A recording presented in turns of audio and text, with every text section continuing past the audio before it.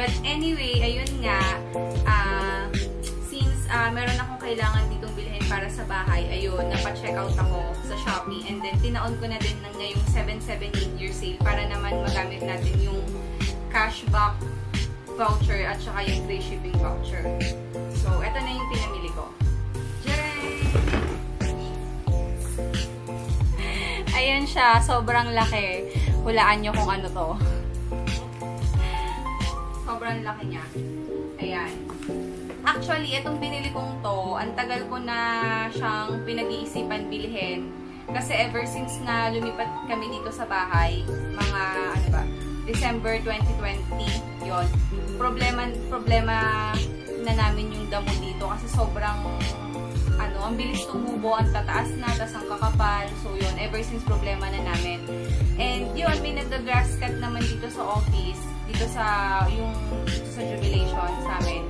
Kaso, nung nag-resign yung, uh, ano ba tawag doon? Nakalimutan ko ano, ano ba? Parang manager, wala pa kasing homeowner sa amin, homeowner dito sa subdivision namin. So, yung developer pa rin yung may hawak nung mismong mga ganap dito sa subdivision. So, yung pinakang OIC, nag-resign siya. So, napabayaan yung pag-grass cut. So, ilang months ko na din pinoproblema yung kaka-request dun sa office na magpa-grass cut dito sa amin. Kasi nga, taas na. So, yun, stress na stress na ako. Kaya naman, naisipan ko nang bumili since may nakita ko na mura. Kasi yung mga nakikita ko, mga around 5,000 ganyan. Yung mga pang heavy duty talaga, yung mga ginagamitan ng gasolina ata. So, ayun, since mga ano lang naman, yung mga damo-damo lang naman dito sa may gilid ng bahay, tsaka sa harap, yung doon lang namin siya gagamitin. So, naghanap ako nung medyo mura lang, yung hindi siya heavy duty. Ayun. So, yun, may nakita naman ako. Bali, ano siya, ah, original price niya is 1,000 970. And since uh, 77 mid-year sale, so 1,429 na lang siya. And then, nakagamit din ako ng, uh, ano ba yung nagamit ko? Hmm. Kalimutan ko. Ayun, may nagamit akong 15% off na cashback, cashback discount. And then, na meron din akong free shipping voucher. Kaya, nung check out ko siya, yung check out price niya is 1,168 na lang. Imagine, di ba, ang laki ng na-discount ko. For 1,970, ano na lang siya, 1,168. So, yun, para hindi na din ako ma-stress, magkaroon, tsaka meron na akong peace of mind, hindi ko naguguluhin-guluhin yung mga tao dun sa office, kaka-request ng grass cut. So, yun, bumili na lang ako. Kasi, ano, free naman yung pag-grass cut.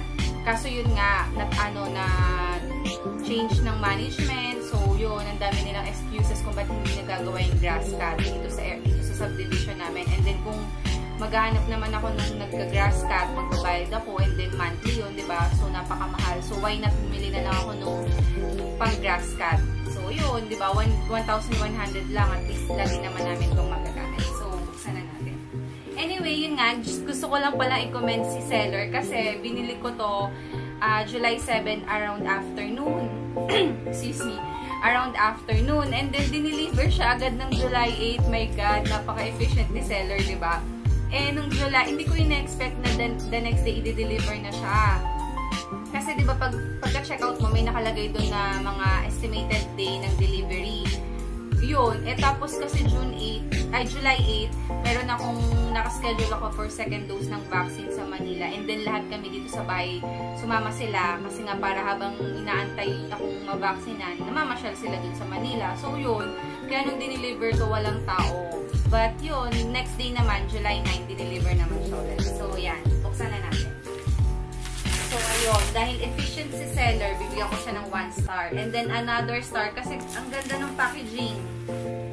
Naka ano, bubble wrap siya. So, safe na safe ang ating item. So, buksan na natin.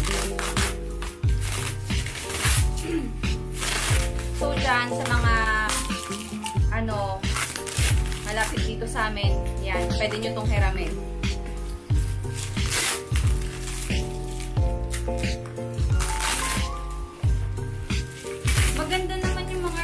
nababasa ko, hopefully, totoo talaga yon hindi budol. sana talaga ano, matagal siya, maganda yung quality.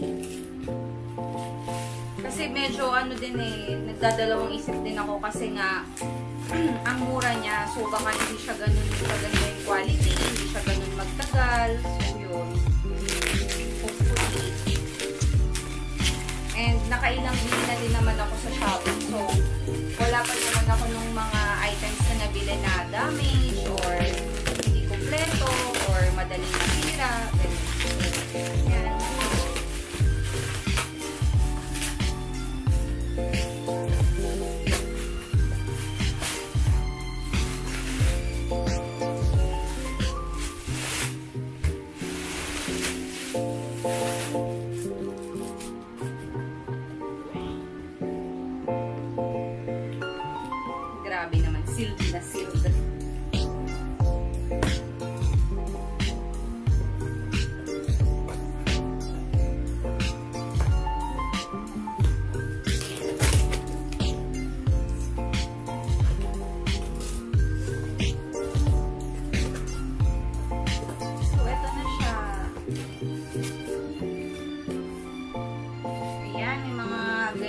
May mga pa-foam pa, di ba?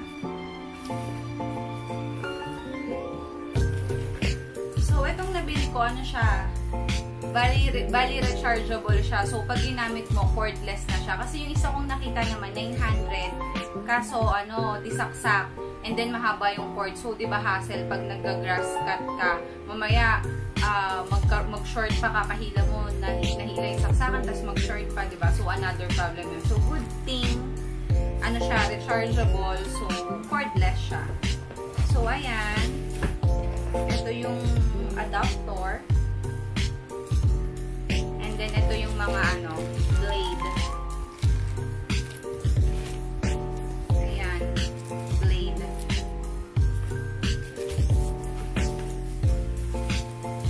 So, yun. For every item, naka-bubble wrap siya. Yung handle.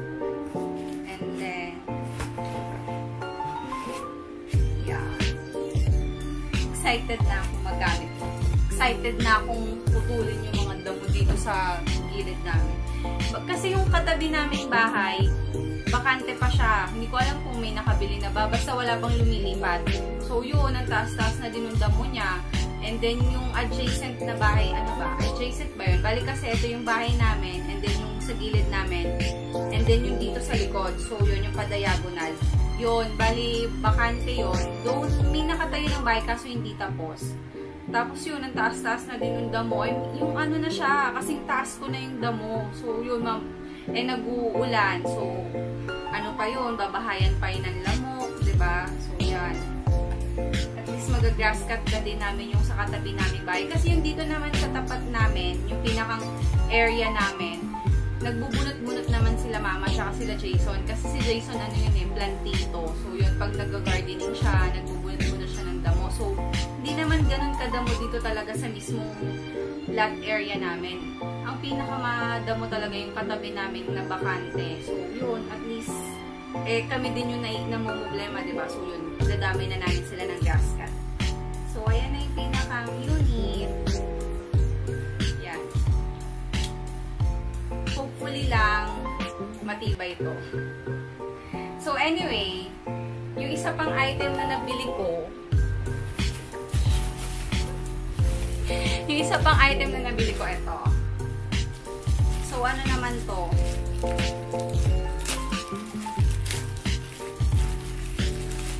Cover sa e-bike. Ano kasi, nag-uulan na. So, eh, hindi pwedeng mabasa yung e-bike. So, temporarily, pinang-cover namin is yung nakuha ni Papa dun sa office nila. Ano yun eh, para siyang, ano, sako, sako, yung bang, yung sa pag may mga construction or ginagawang bahay, di ba, pinocoveran nyo ng color blue na trapal. So, yun, yun yung ginamit namin na pang cover. Uh, sabi niya, to our valued customer. So, kasi yung binili ko color black, eh, ubus na. So, gray, ginawa nilang. Hindi naman nila ako in-inform. But anyway, hindi naman ako maarte sa color okay lang. So, ayun, yun yung ginagamit namin pang cover sa e-bike. Eh, ayun, masyado siyang malaki. So, ang ginagawa namin, nilalagyan namin ng kahoy, tsaka ng, pinapatungan namin ng kahoy, tsaka bato para hindi lipa rin. And then, yun, hindi, ka, hindi kasi di ba maganda tingnan, parang may pinakluban ka ng sako. So, since nakakita ko nung mura lang, bali 86 pesos lang siya. And then, at least pang-cover talaga siya ng motor, ng e-bike. So, ayun. Tapos, binayaran ko siya through using my Shopee Pay. Kaya naman, nakaano ko ng free shipping voucher.